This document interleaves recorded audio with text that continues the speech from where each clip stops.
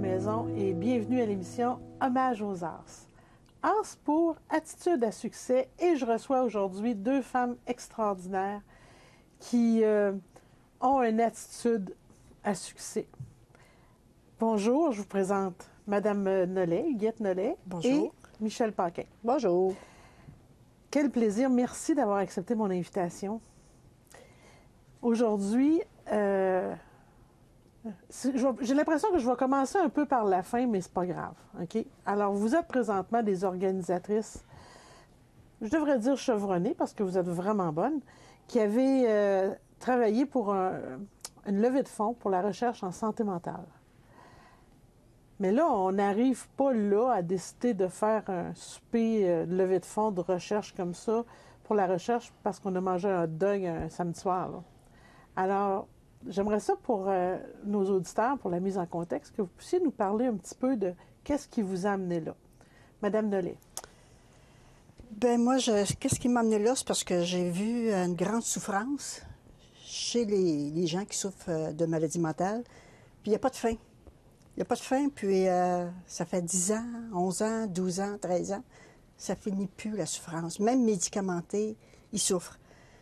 Alors j'ai dit, ça pas d'allure. Je sais le- qu'il s'en fait de la recherche, le gouvernement en paie de la recherche, mais ça n'en prend plus que ça. À quoi faire? quoi organiser? J'en parlais souvent à Michel. Michel me répondait Quand tu seras prête, appelle-moi. C'était la seule, d'ailleurs, qui, qui m'encourageait. Au bout de dix ans, je fais un souper spaghetti. Mais je veux la guéri- Moi, je veux la guérison de la maladie mentale. Si on ne l'a pas, grâce à peut-être à tout l'argent qu'on va envoyer, on espère, si on n'a pas de la guérison, au moins une amélioration pour la médication. Parce que là, la médication est encore lourde ch- chez ces gens-là qui Elle a des effets secondaires Énorme, importants. énorme. Alors, je, si je, je- moi, je vise la guérison totale. Puis, euh, c'est ça, là, Michel, elle me parlait de Douglas, ils font des belles recherches. Alors, quand j'ai pensé à ça, j'ai- là, j'ai appelé une personne qui, est-ce que tu me prêtes ta salle? Elle a dit oui. Chevalier de Col- euh, la première fois à la Euh, Légion. Alors, je sautais de joie. Dans... J'appelle Michel, j'ai dit bon, on part. Puis c'est comme ça, c'est parti. Puis Michel m'a aidé euh, tout le temps, tout le temps, tout le temps. Il y a les deux- Appuyé, appuyé. Ah, énormément. Il y a les deux femmes en or. Moi, j'ai j'ai les deux vrais. Mhm, les deux hein? oui, hein? Les deux Oui. vrais. Et toi, Michel? Moi, quand Huguette m'a parlé de ça pour la, levée de fonds, c'est important parce que je connaissais déjà Douglas, qui avait les, banques du cerveau. Ils font les recherches. C'est deuxième, le deuxième hôpital le plus important au monde pour la recherche en santé mentale. Puis on sait que les, euh, sous n'y sont pas. Euh, il va y avoir euh, des millions d'offertes pour le cancer. Puis il y a peut-être 100 000 personnes atteintes d'un cancer. Il y a un million de personnes atteintes de santé mentale et ils ont 100 000 pour la recherche. La recherche, c'est ce qui va permettre à tous ceux, en quelque part, qui va permettre de- de- de- d'être plus, euh, plus valorisés dans leur maladie, d'être capable de, moins souffrir, parce que c'est vrai que c'est souffrant la maladie mentale, que ce soit la dépression, que ce soit l'Alzheimer, que présentement c'est le- le, Le fléau. le numéro fléau un. numéro un présentement.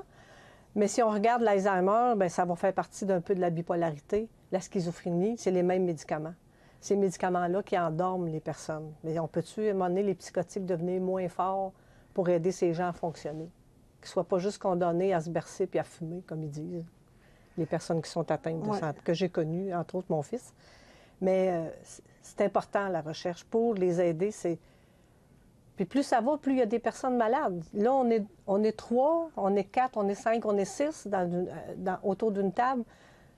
Qui ne connaît pas quelqu'un qui est atteint de santé mentale? La dépression est très forte. Effectivement. Le- le- les problèmes de nutrition sont forts. Ouais. L'autisme devient, euh, fait partie, euh, de- en quelque part, de ça. Le- le- la liste est longue comme ça. C'est- un gros cancer. Moi, j'appelle ça un cancer qui gruge et la personne malade et les personnes autour de Ah, ces personnes malades-là. La vie est, est, est pas détruite, mais on mange une moyenne claque. On n'est pas à l'abri de ça. En fait, Puis la recherche est là pour nous aider. ce qu'on souhaite, c'est améliorer leur qualité de vie. On- puis, la guérir, la guérison, à quelque part, c'est pas si fou que ça. Il y a quelques années, le Club Rotary disait qu'il voulait éradier la polio de la planète. Et ils ont réussi. C'est quand même pas rien. Ouais. Donc, euh, et à ces moments-là, on n'aurait jamais pensé que ça aurait été possible. Même pour un cancer, au début Même des années le- 50-60, les personnes mouraient. Un cancer du sein pour une dame, c'était automatiquement, elle n'était plus là. Maintenant, il y en a euh, combien que la rémission est là, puis la guérison est complète, pour quel que soit le, le- le cancer. Donc, le can- moi, pas un cancer du cerveau, parce que lui, c'est sûr que ça se guérit. Pour le moment, non. Mais la maladie mentale, je suis certaine qu'en quelque part, il y a quelque chose qui va permettre à une guérison totale de plusieurs d'entre eux. Peut-être pas tous, mais plusieurs On d'entre eux. pourrait la améliorer de pas mal. La vie, va, la vie va être pas mal plus, plus douce, plus belle pour ces personnes-là. Oui, oui. Est-ce que vous savez que vous êtes. euh, ben, je vais vous poser la question parce que je suis sûre que vous allez me dire ben non, ben non, parce que souvent, ce qui, ce qui drive ou ce qui met l'énergie dans ah, l'organisation de ça, c'est les croyances qu'on a. On y croit vraiment. Mais vous êtes des femmes extraordinaires qui avaient une attitude à succès incroyable. Puis moi, la raison pour laquelle je trouve ça, je trouvais ça important de vous inviter à l'émission et de vous rendre hommage, c'est que vous êtes deux femmes, deux mères, avec toute l'énergie d'un- d'une mère, tout ce que ça l'implique, qui se sont mis en action, mais vous n'avez pas de réseau autour de vous. Vous n'avez pas fait ça avec des clubs sociaux, avec des réseaux sociaux, puis des... Vous avez fait ça à partir de votre volonté à vous de pouvoir euh, faire une différence. C'est gros? Oui, c'est sûr qu'il a fallu. euh, Pas y penser. oui, il a fallu partir, dire oui, on go, on y va, puis on va faire ce qu'on a à faire, puis on verra le succès qu'on aura. La première année, c'est un succès qui nous a euh, enflammés, comme on pourrait dire, euh, en 2017. En 2018, c'est encore, encore meilleur parce qu'on a réussi à, à vous avoir, vous, en partant par. euh, Non, mais c'est pas ma faute. mais, euh, non, mais tu travail. étais là pareil. Oh. J'y crois Et puis, vraiment. puis, on y croit à la maladie. On a eu euh, une grosse chance. Puis là, en 2019, on veut encore continuer. En 2017, 18, vous avez donné Euh, 8000 220 à peu près. ça, là. et 50. Ça, là, mesdames et messieurs, là, ça s'est fait par la force de le travail de bras, du jus de bras, oui. du jus de bras, parce que c'est un souper spaghetti, puis elles ont fait la sauce à spaghetti, elles ont fait cuire les pâtes, et ils n'étaient pas appuyés par aucun réseau social. C'est vraiment, là, et il y a des réseaux sociaux avec des gros groupes qui ont de la misère à donner le montant que vous avez donné, intégralement. Mm. Vous n'avez pas fait de déduction, puis pas de... Vous avez donné l'ensemble total Ah ouais. des sous? Oui. Moi, là, je vous lève mon chapeau très, très haut et bas. Ben, Bravo. ben, Ben, merci, merci, parce que c'est. C'est sûr qu'on va le prendre. On, on est fiers, nous autres aussi, de nous. De, de- en tout cas, moi, je suis fière. Toi aussi, Ah ouais, fière? ben. Bon. Eh Ben oui, surtout, surtout elle. Tu sais, on peut être fier de ce qu'on a fait, mais on veut que ça continue aussi. Le- le- là, on est parti. Douglas, ça nous avait dit, Mme Lauzon nous a dit, vous êtes les premières dans, la région, dans votre région qui, qui commencez ça, cette chose-là. Oui, on commence, mais on veut que ça continue aussi. Ouais. Au même titre que toutes les autres. Puis là, si, il faut être là pour. C'est les gens qui nous appuient. C'est parce qu'eux autres aussi, ils croient. Sinon, ils ne seraient pas là. On pourrait dire un merci spécial à M. Aubert. Ah Guy oui. Aubert, qui vous a appuyé Oui, aussi. beaucoup. Euh, beaucoup, beaucoup, beaucoup, beaucoup. C'est- Peut-être que lui nous a donné le, le- le- le coup d'envoi encore plus fort pour nous prend d'une personne que comme ça. quelqu'un nous croit Oui, en nous, Oui, que ça nous donne l'énergie puis le gaz Oui. pour faire le chemin. oui, oui, oui, oui. Oui, parce qu'il y, a- il y a y des fois qu'il y a une... arrivé deux, trois fois durant la période que- qu'on prépare notre souper. Est-ce que je... ça vaut, est-ce que je fais bien? Ça, ça vaut-tu la peine? Est-ce que ça va guérir? Tu sais, le hasard voulait qu'à ces deux, trois fois-là que ça m'est arrivé, M. Aubert, justement, prenne le temps d'appeler pour me demander. Puis M. Aubert, on sait que c'est un monsieur occupé. Puis Mme Nolette, non, Guy Aubert. Puis comment ça va, Mme Nolette, dans la vente de vos billets? Ah, ça, là, ça me remontait le moral. Là, j'étais bonne pour un petit bout. Alors, merci. Merci.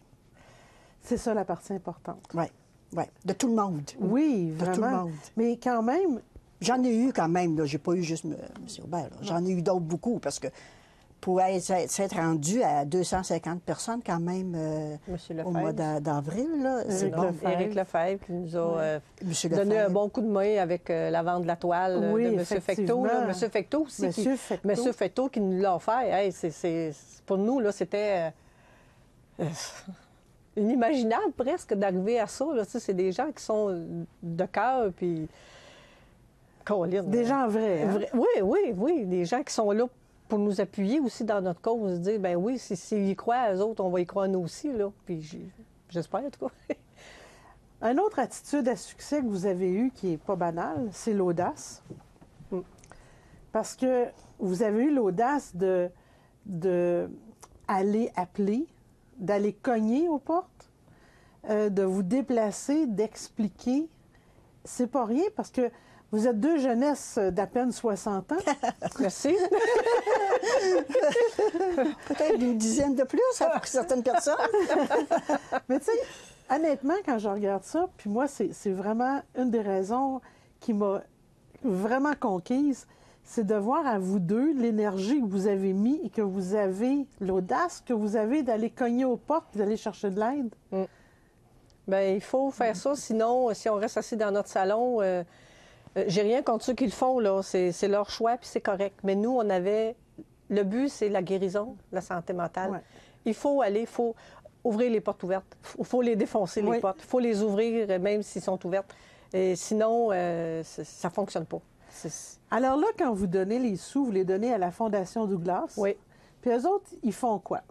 Eux, c'est euh, l'hôpital Douglas, ce sont des chercheurs. Il y a beaucoup de les personnes qui sont là, c'est des chercheurs qui ont des noms euh, pas toujours canadiens-français, là, on s'entend, là, ils ont des noms qu'on on a de la Des- des misère, noms longs, des, des noms longs, et puis avec des noms, des suites de, au bout du nom. Avec des euh, acronymes à des- plus finir. plus ça finit plus. Et eux sont là, ils font la recherche. Là, présentement, ils ont beaucoup de cerveaux. hein. Ils ont 3000 cerveaux euh, dans leur banque de cerveaux, dans le formol ou dans je ne sais pas trop quoi, qui étudient chaque euh, cas. Ils sont en train de découvrir le gène le plus important pour le suicide. Euh, C'est là, là. Ça fait partie de- de- de- des petites vidéos qu'on reçoit de temps à autre, là, c'est là-dedans. Et puis, euh, l'Alzheimer aussi, qui sont en train de... Ils, ont trouvé déjà un médicament qui, est- qui commence à retarder la maladie d'Alzheimer. OK. Euh, eux sont là pour la recherche. Ils font vraiment de la recherche. Ils sont aussi là pour aider les patients qui se présentent à Douglas parce que c'est un hôpital en santé mentale. Donc, ils ont besoin de, aussi de sous pour aider les patients. Euh, pour, euh, pour, continuer, pour faire la suite, euh, la même chose qu'ici à Tabasca peut-être, mais ici, l'hôpital, la Fondation à notre santé maintenant, et a beaucoup de sous et en donne beaucoup à, à son, à son réseau à elle. Mais Douglas, elle, elle a un réseau elle aussi, mais en région, le réseau n'est pas là. Bien, en fait, Puis- à l'hôpital, ils vont donner des services directs aux ça. Mais il ne faut pas négliger la La recherche, parce que s'il n'y a pas de recherche, on n'avancera pas. On n'avance pas, puis ça va encore rester avec des, des- les affaires sur la tête, là, puis les chapeaux électriques, puis tout ça. Donc, non, la recherche est importante. Elle a avancé depuis les années 40-50. Mais mon d'où qu'on est loin de la- du, du succès, euh, lever la coupe, là, c'est- Ouais. on n'est pas rendu là encore. C'est sûr que la santé mentale, c'est pas un sujet qui est populaire. Hein? C'est pas, c'est, c'est un sujet qui est un peu tabou. Oui, il est encore tabou, malgré tout. On ne dira pas facilement euh, que, euh, que notre enfant a un problème de santé mentale. On dit, on- on- il y a une gêne, il y a une certaine gêne à ça. puis c'est normal. C'est Ouais. normal. Puis même la- l'enfant qui est atteint de la santé mentale ne veut pas le dire. C'est ça. Ne veut pas qu'on le dise non plus. Ils sont gênés d'être d'avoir eu un diagnostic aussi imposant que ça. Ouais. Alors, c'est pour ça que faut ouvrir. Mais quand on parlait tout à l'heure, euh, quand euh, on va voir les gens, puis on demande, on leur offre, un- on leur demande un don, ni plus ni Oui. moins, de venir souper, la réponse est réellement favorable. Les gens euh, sont réellement gentils, oui. sont ouverts, sont... Mais je ne sais pas s'ils connaissent des gens qui sont malades, mais je- ils sont gentils, les gens. Ils nous répondent oui. Réellement, j'ai été surprise Ouais. de la réaction de tous les gens. Un autre élément que j'ai beaucoup apprécié, c'est que vous avez fait cette levée de fonds-là, mais vous l'avez faite quand même d'une façon très, très accessible, autant pour le don, des billets à 25 pour un souper, euh, on s'entend que c'est pas très dispendieux, là. Puis que le 25 va à la cause, c'est quand même pas rien. Mais le fait que ça soit accessible, c'est parce que vous avez aussi une envie de sensibiliser à la situation. Oui. C'est ça. Oui, quand ça. on demande un don, par exemple, qu'on va voir les, les corporations, qu'on va voir les, les magasins, ou qu'on voit, on sait que les gens sont sollicités beaucoup, beaucoup. On s'entend là, je- je- Ouais. on, je- on est conscient de ça. Mais ils sont quand même là pour nous appuyer pour notre cause. Oui. Puis quand on leur dit, vous savez, on a ramassé Ouais, tant, on a ramassé tant, ils sont fiers parce que c'est grâce à vous autres qui ont réussi à envoyer tous nos sous là-bas. C'est que les commanditaires et tout, nous, on ramasse autour de 1000, 1200 eux nous permettent de payer nos frais, puis le restant, c'est certain que ça s'en va direct à la cause.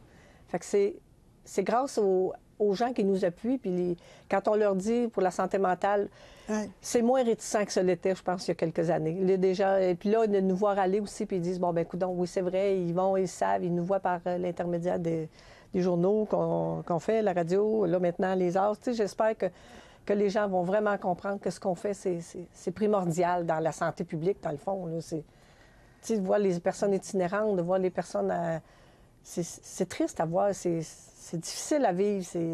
En fait, c'est comme l'image de la déchéance humaine. Oui, c'est ça. puis sur lequel on n'a pas de contrôle parce que c'est la santé mentale.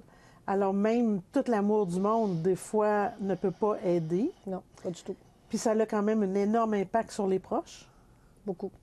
Beaucoup. Il faut, faut vraiment devenir euh, résilient, d'accepter de vivre avec cette maladie-là, de vivre avec une maladie, quelle que soit la maladie. Peu importe, il n'y a, pas aucune maladie qui est plus fine qu'une autre. Non. Une maladie, c'est une maladie. Mais de vivre avec une maladie mentale, que les personnes qui sont atteintes ont de la misère eux-mêmes à accepter leur maladie. Nous, il faut les, les aider à, à vivre avec leur maladie. Ça, c'est pas facile. Puis c'est, c'est- ça amène euh, des sujets de discussion qui sont parfois orageux. Parce que nous, en tant que personnes normales, on a de la misère à accepter que eux autres comprennent pas. OK. Je comprends pas pourquoi qu'ils comprennent pas. C'est Ça, ça. c'est un grand. C'est Oui. un- quelques mots, là, mais c'est difficile à dire à- aux gens ben, pourquoi tu comprends pas? C'est facile à comprendre. Tu as un problème, il faut, faut le régler, il faut que tu sois médicamenté. Oui, mais si je prends de la médication, ben, je deviens engourdi. Je, vais- je vais faire quoi? Je peux plus rien faire de ma vie. Oui, tu peux. Mais non. Pour eux autres, pour certaines personnes, ils vont être capables de vivre, d'accepter. Mais il n'y en a pas beaucoup. La médication, elle est difficile. Elle est difficile. Il faut qu'elle que soit c'est vrai améliorée. qu'elle engourdit, puis elle rend euh, numb, comme on me dit qu'on est comme euh, empâté, amorphe. amorphe. Puis c'est des adultes, donc ils savent ce que ça leur fait. Ils n'aiment pas ce sentiment-là. Dans le fond, c'est comme, c'est toujours pas bien. Oui. Soit tu es amorphe ou soit tu es en problématique euh, noire et désagréable et tempêteux dans ta tête. C'est ça. Puis c'est cette maladie-là aussi, la, la personne qui est atteinte de santé mentale, avant d'être atteinte d'un problème de santé mentale, était en santé. Oui. Elle a développé une maladie à cause de, on ne sait pas, euh, un problème est arrivé quelconque, il y a des personnes qui Il y a sont des plus éléments fragilisées. déclencheurs. C'est ça. Ces personnes-là sont fragilisées par ça. Puis là, ils sont. Ils, dé- mais ils sont super intelligents, là. Je- la plupart, là, parlez-en à n'importe quelle personne, avaient toutes des personnes intelligentes, puis euh, un peu trop même, des fois, que, je- que moi je dis, là. C'est mieux d'être moins intelligent puis de pas avoir une maladie, mais en tout cas, c'est là. Mais la maladie se déclenche. Puis là, ces personnes-là se voient aller, eux autres aussi, là. Oui. Tu sais, ils savent qu'avant, ils étaient comme ça. Là, ils sont plus. Ouais. Ils peuvent plus avancer. le rêve est brisé. Le rêve est brisé. Le rêve est brisé. Hum, hum, hum. Quand ils, ils ont des grands rêves, eux aussi, comme nous, on en avait pour eux, hein? comme moi, mon fils, notre fils, puis les, les- les- les enfants de tout le monde, le frère, la sœur, le père, la mère, on a tous des rêves pour ces personnes-là. Bien, il faut les mettre C'est de faire côté. le deuil d'une personne C'est qui ça. est vivante. C'est ça, exactement. C'est pas facile. Souvent, Ça. moi, j'ai dit, j'ai fait le deuil de mon fils avant qu'il décède. J'ai fait le deuil de cette personne-là avant qu'il décède. C'est gros, là. C'est quelque chose, là. Ouais. Oui, mais c'est- ça fait partie de la maladie qui, nous aussi, il faut se dire, bon, ben là, euh, c'est autre chose. Elle doit vivre autre chose, nous aussi. On Y l'accompagne. a-tu de l'aide pour les proches?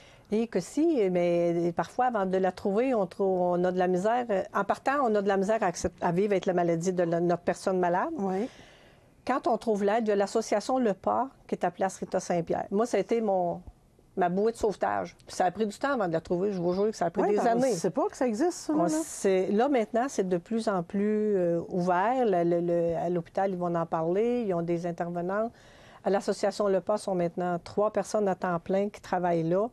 Ils ont 150, 175, 200 membres. Là. Je, c'est des, Ils sont des en membres croissance, en tout qui cas. sont en croissance. Puis ce sont des gens qui sont là. Ce sont des gens, des familles, des personnes atteintes. OK. Puis le service, c'est. Moi, en tout cas, moi, ça a été ma bouée de sauvetage. Puis j'ai comme une, euh, un amour pour cette association-là. Je pense que je vais toujours l'avoir. Sinon, si n'était pas là, je te dirais que je- j'étais pas mal euh, dans un down quand je suis Ouais. arrivée là.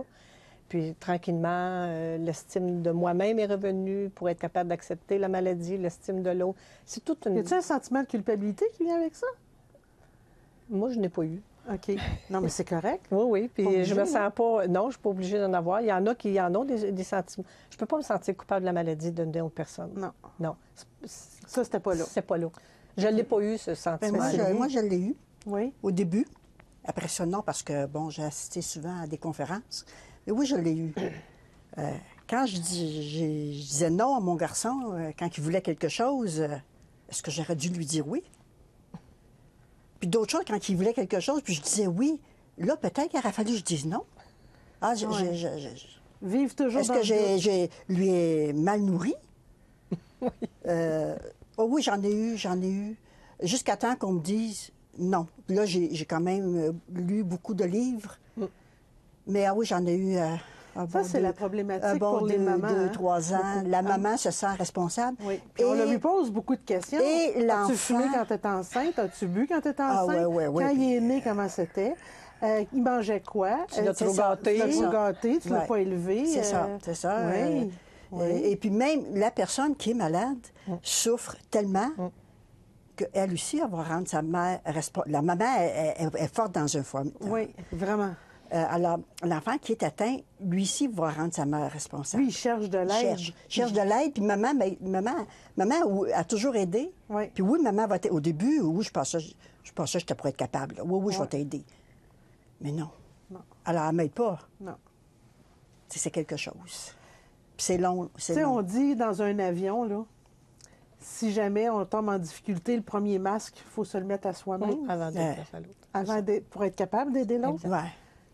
Vous êtes vraiment. euh, Je pense que les gens aujourd'hui, euh, ils vont apprendre beaucoup de ce que c'est.